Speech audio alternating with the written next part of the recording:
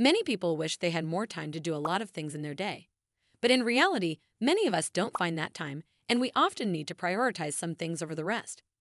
For example, you may find that it is really hard to balance work, sleep, and having a good social life. Most of the time, you need to prioritize only two of these three things.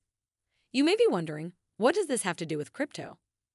Well, the thing here is that blockchains are also faced with the same problem decentralization, speed, and security. These are three very good characteristics we would want in a blockchain, right? But the problem here is that most of the time, developers of any blockchain need to favor or prioritize only two out of these three characteristics. This is known as the blockchain trilemma. Welcome to Cryptobie, where we explain cryptocurrencies and DeFi topics in the most simple and beginner friendly way. In this video, you will understand what is the blockchain trilemma and its three characteristics, which are decentralization, scalability, and security. So, let's get started.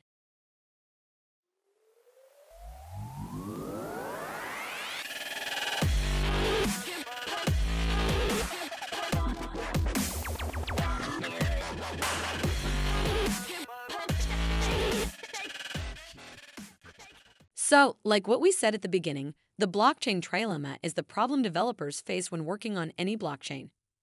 Most of the time, they need to favor only two characteristics. So, for example, you may have a very secure and decentralized blockchain, but it is very slow at processing transactions. Another blockchain may be very secure and very fast at processing transactions, but the problem here is that these transactions are verified by a small group of computers, and these computers are operated by few companies and individuals, which gives them total control over the blockchain. So this blockchain is not decentralized. Finally, you may have a very fast blockchain that can process thousands of transactions per second while still being decentralized, but it is not that secure and may be vulnerable to attacks. The term blockchain trilemma was first introduced by Vitalik Buterin, one of the co founders of Ethereum, and you may also hear this problem called the scalability trilemma. So, why does this problem exist? Why can't we have a decentralized, fast, and secure blockchain? Well, to understand why, let's explain the three characteristics of the trilemma, which are decentralization, scalability, and security. Let's start with decentralization. So, decentralization simply means that no single individual, company, or entity controls the asset. So, this is the opposite of what happens with fiat currencies like the dollar or the euro where you don't actually have much control over your money and at any time your bank can freeze your money and prevent you from spending it. On the other hand, a blockchain is simply a distributed ledger or database that contains users' accounts and transactions, and instead of relying on banks to verify transactions for us, we rely on many computers, also called nodes, connected to the network. But the problem we have here is that each one of these computers may have its own version of the user's accounts and their transactions. So it is obvious that this can't work, and they will need to reach agreement on one correct version. So these computers reach this agreement on the correct version using something called a consensus mechanism, and you may know some examples of these mechanisms like the proof of work and proof of stake. Most of the time, the decentralization of a blockchain can be measured by the number of computers verifying transactions on the network. So, for a blockchain to be decentralized, first there has to be no central authority or group of people controlling the network, and making important decisions. Also, there has to be a large number of computers verifying users' transactions so that no one group of computers control the network and prevent some individuals from making transactions. Also, in a decentralized blockchain, anyone should have the ability to participate in verifying transactions by setting up a computer and connecting it to the network without the need for approval from anyone. An example of a decentralized blockchain is Bitcoin, Bitcoin uses the proof of work consensus mechanism, and currently there are thousands of computers all over the world verifying users' transactions. In this proof of work mechanism, anyone can join the network and participate in verifying transactions without the need for approval from any authority. So the Bitcoin blockchain is decentralized, but the problem here is that it is pretty slow.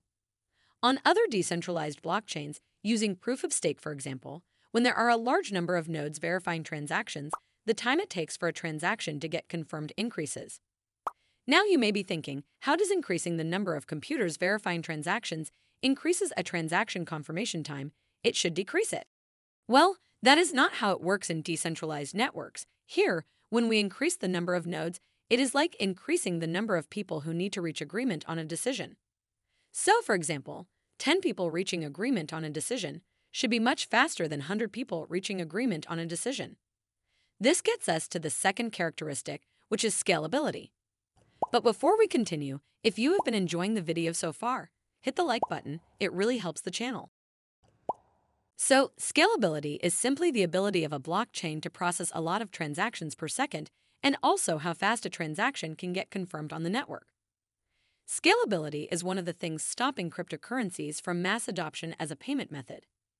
No one wants to use crypto as a payment method hmm. if they would need to pay $30 as a transaction fee on an everyday purchase. Also, no store will accept crypto if they would need to wait for 50 to 60 minutes to make sure that their transaction is confirmed, which is the case with Bitcoin. So, Bitcoin uses proof of work and can process only from 5 to 7 transactions per second, which is very slow compared to centralized networks like the VisaNet, which currently processes around 1,700 transactions per second, and you may hear that theoretically, it can even process up to 24,000 transactions per second. So, why is Bitcoin that slow? Well, it is mainly due to the block size, which is currently limited to around 2 megabytes. This block size means that a block on Bitcoin can store around 3,500 transactions. You may know that a new block is added to the Bitcoin blockchain once every 10 minutes, so that gives us around 5 transactions per second. Now you may be thinking, why not we just increase the block size? Well, the Bitcoin community actually discussed this for a long time, and many people see that it will hurt the decentralization of the network. This is because the cost of running a node to store and verify the Bitcoin blockchain will be higher, as it will need more storage and bandwidth. So, these rising costs will make many people stop running these nodes as they do it just to help secure the network, and they don't make any money from doing this. Keep in mind that here we are talking about the full nodes that just store and verify transactions on the Bitcoin network, not about the miners who produce blocks. Full nodes are easy for anyone to run on a laptop or a personal computer. Miners, on the other hand, run special expensive mining hardware.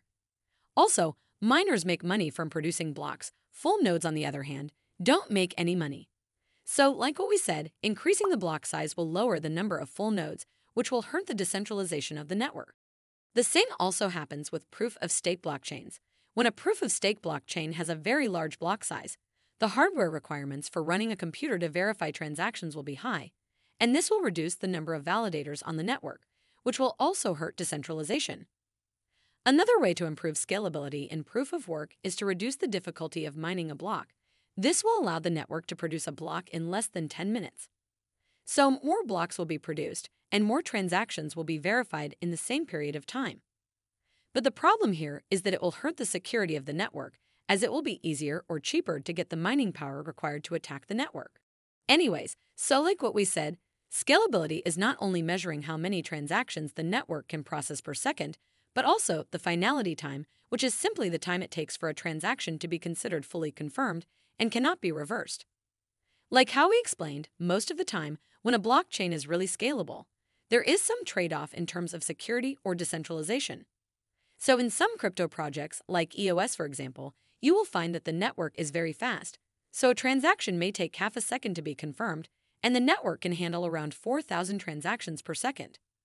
But the thing here is that the number of nodes that can verify transactions is only 21, which is a lot less than the 11,000 nodes on Ethereum, for example.